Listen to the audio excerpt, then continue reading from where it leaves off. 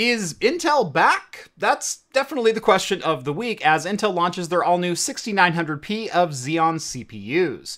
Today we're going to go over everything there is to know about this new processor, what it means for you, and more importantly, how it stacks up against the competition.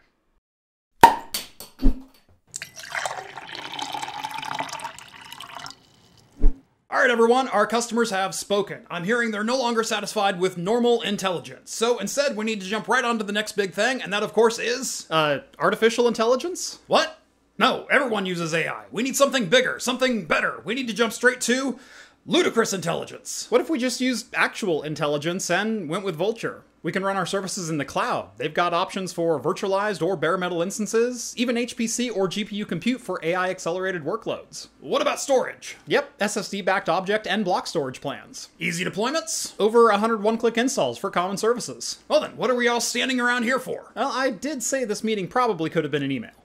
Vultr is the everywhere cloud with 32 locations worldwide, allowing you to host apps and services no matter where you or your customers live. And with more than 100 one click installers, you'll be able to get your OS and services up and running in no time. From managed WordPress solutions to gaming hosts, and even full NVIDIA GPU stacks for AI driven businesses, all without the cost or complexity of hyperscalers. Visit vultr.com slash craft and get a $300 credit to your account just for signing up. Again, that's vultr.com slash craft, and a huge thanks to Vultr for sponsoring today's video. Welcome back to Craft Computing, everyone. As always, I'm Jeff. I spent last Tuesday on Intel's campus in Hillsboro, Oregon, getting up to speed on their upcoming 6900P series of CPUs. That is, Intel's all new Granite Rapids Xeon CPUs designed specifically for HPC. As a quick disclaimer, I was invited by Intel to their Enterprise Tech Tour, and they did comp my hotel room during the event. Though I am under no obligation to even make content from that event, nor does Intel have any input over the production of this video. If they did, it would be full of AI talking points, as that was 90% of their presentation. I'm much more interested, though, in other aspects of the CPU launch, mainly around virtualization and hosting environments, and that's what I'm going to talk about in this video. Back in June of this year, Intel began shipping their Sierra Forest 67E series of Xeon CPUs, built around a metric ton of low power efficiency cores. And while 144 cores is exciting, and I can certainly think of multiple use cases for such a multi threaded behemoth, I think we can all agree that it's the launch of Intel's high performance chips that most of us were waiting for. Both Intel's Sierra Forest efficiency core based CPUs, as well as the Granite Rapids performance chips that we're taking a look at today, are based around Intel's in house 5nm lithography called the Intel 3 process, and is their second generation node built using ultraviolet lithography, with the first generation being Intel 4 based on 7nm FinFET. Both Sierra Forest and Granite Rapids are part of Intel's Xeon 6 lineup, part of an increasingly segmented server market that also includes AMD's Genoa, Bergamo, and Siena products. Today, we'll be talking specifically about Granite Rapids from the Xeon 6900P series, which is what launched earlier this week. Just like AMD's lineup, Intel is going with two different sockets and two very different levels of performance. On the previously released Xeon 6700E series, that is based around the LGA 4710 CPU socket. It has a maximum of 8 channels of DDR5 6400 memory support, along with 88 PCIe Gen 5 lanes for I.O. devices. The 6700E series uses exclusively efficiency cores, which means lower clock speeds, lower overall power draw, and most importantly, no hyperthreading. While Sierra Forest does manage to top out at 144 cores, that's also where the number of threads tops out as well. Looking at the all-new Xeon 6900P series, Granite Rapids is using an all-new socket in the LGA 7529.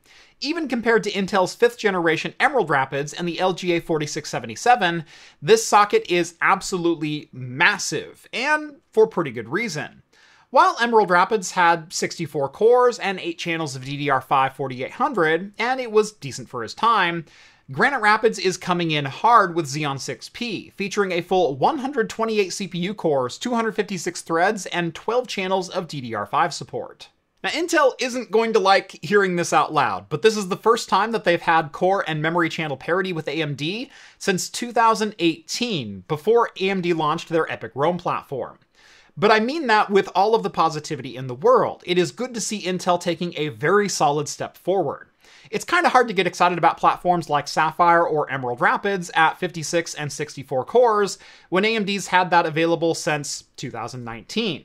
and AMD's been marching out with 96 and 128 core parts for the better part of two years now. For those curious about how Intel pulled off such a high core count, of course, it's tiles all the way down. I guess Intel finally found the right glue to use.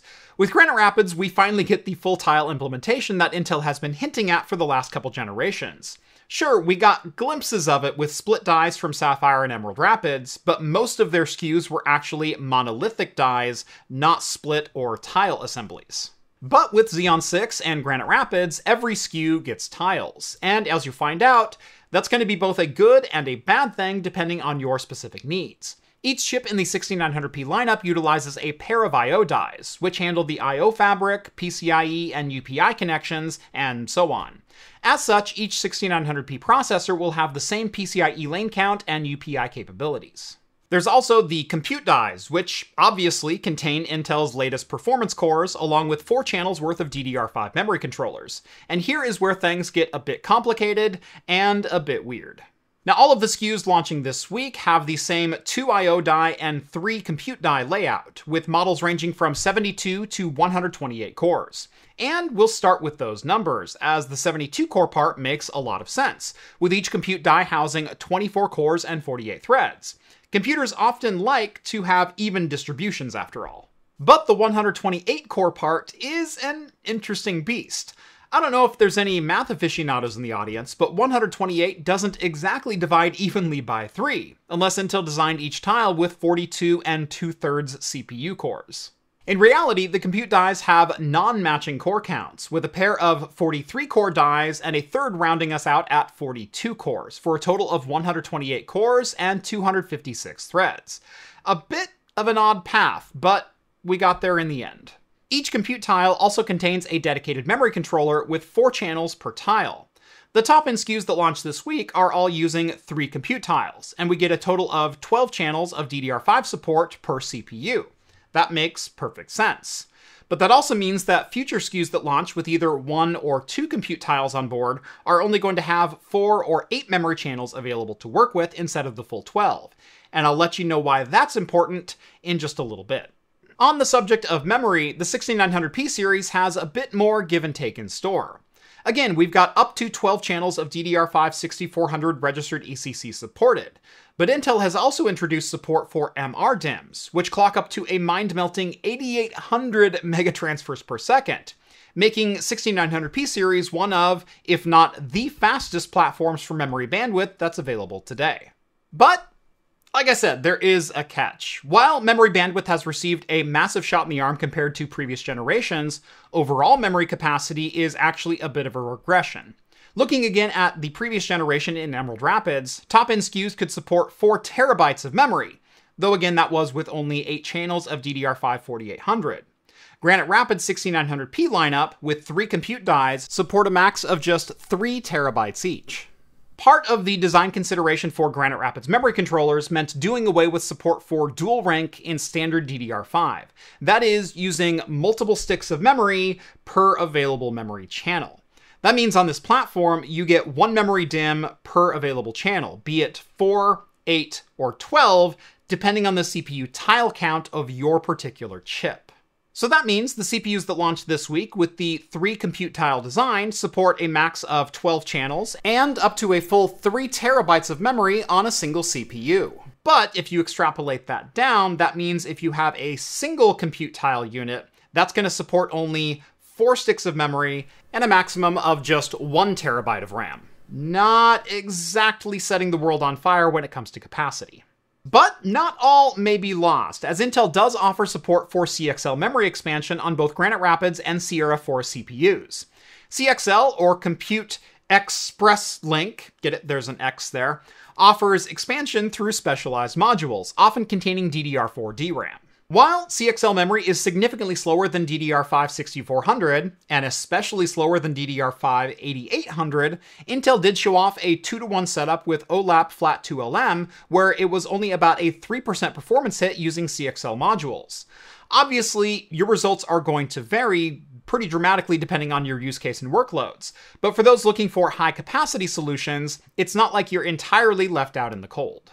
Memory controller layout is another area that may take some getting used to and may not be fully optimized in software out of the gate. Because each compute tile has its own memory controller directly attached, each tile is now its own independent NUMA node. Now, this isn't exactly a new concept in HPC products, especially with dual socket systems, with AMD and Intel both having split NUMA nodes on multi socket CPUs for the better part of two decades, and AMD actually utilizing multiple NUMA nodes in most of their EPYC generations. Xeon 6900P chips have two different NUMA mode settings that you can configure in the BIOS. First, there's the default SNC3 mode, which if you're at all familiar with Intel's NUMA specific configurations, you should be right at home here. SNC3, or sub-NUMA clustering, essentially treats each CPU tile as having their own pool of memory consisting of four attached memory channels. This is especially useful for applications that are sensitive to memory latency. There's also hex mode, where all of your system memory is placed into a large single pool. Each CPU tile has access to the entire pool of memory, though that will come at the cost of some increased latency. Hex mode essentially replaces what was known as SNC1 mode, because Intel still doesn't know how to keep the same name for a feature across more than two generations of products. Now, Intel is certainly not the first company to drop 128 cores onto a single CPU, allowing for up to 512 threads per two socket system. But they are the first to bring their highest performance CPU package to the equation. AMD's Bergamo CPUs do offer 128 cores and 256 threads, but those are based off AMD's Zen 4 C chips, a slightly cut down package built for higher efficiency applications. The Xeon 6980P 128 core chip manages a max turbo speed of 3.9 GHz for burst performance, an all core turbo speed of 3.2 GHz, along with 504 MB of L3 cache. Bergamo's top end SKUs, by comparison, is the 9754S, and it tops out at just 3.1 GHz clock speeds, with all core CPU speeds reaching somewhere around 2.7. Also, it has about half as much L3 cache as Intel's Granite Rapids. Now, likewise, AMD does offer a higher performance package with full Zen 4 chiplets on their Genoa platform. Their top end chip is the 9684X, and while it does feature faster all core performance of 3.42 GHz, that's across just 96 cores. And yes, it feels really weird to say only 96 cores. But there's still a few areas where Intel does fall short. While Bergamo CPUs have significantly cut down L3 cache, topping out at 256 megabytes for a 128 core chip, Xeon 6 still falls well short of Genoa's high watermark of 1152 megabytes on their 96 core parts. On that subject, storage and expandability is another your use case may vary situation. Both Genoa and Bergamo offer 128 lanes of PCI Express 5.0 connectivity, allowing for basically as many network, storage, AI accelerators, and GPUs as you can cram into a server box. Xeon 6 is still coming up a bit short by comparison though, with just 88 lanes on the 6700E series of chips and 96 lanes on the new 6900P series of chips. While that is still a ton of available connectivity, and still an exponential increase from even two generations ago, it's still something that may sway potential customers over to Team Red if high density flash storage or AI accelerators are on the menu. And before we close out, there is one more stat that Intel threw at us that I think could be huge when it comes to cloud hosting providers. And it's something I really liked seeing addressed in this announcement. Servers deployed in service hosting environments rarely, if ever, stay pinned at redline. Virtualization hosts obviously want to get as much performance as possible out of their hosting environments, but customer load is never a static figure. According to Intel, and based off anecdotal evidence that I have from deploying hosted servers over more than a decade in the industry, hosting servers spend most of their time sitting between 30 and 60% utilization.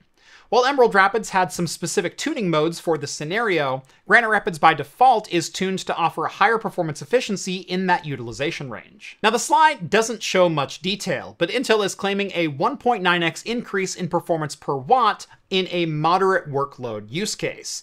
And I obviously haven't tested this myself yet, but it is good to see Intel taking some time to focus on real world use cases, not just insisting that everyone uses their new CPUs for AI and AI alone. My review system for Granite Rapids has not arrived yet, but it should be here in the next few weeks.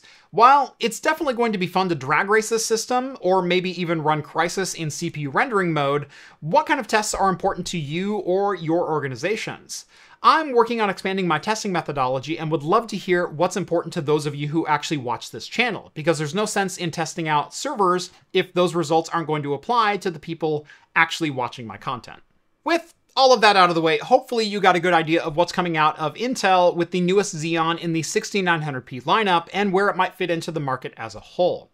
Obviously, all opinions today are based with no hands on testing data as I don't have my test system yet, and AMD's current lineup of Genoa and Bergamo CPUs might be wiped clean in a couple of weeks, with EPYC Turin being right around the corner. All of this may change pretty quickly, but stay tuned to the channel for the latest updates as I can give them to you. As always, if you like the content you see on this channel, head on over to craftcomputing.store where you can get some of my made and designed in-house merch and uh, start drinking like a pro and help keep the lights on around here. But that's going to do it for me in this one. Thank you all so much for watching, and as always, I will see you in the next video. Cheers, everyone.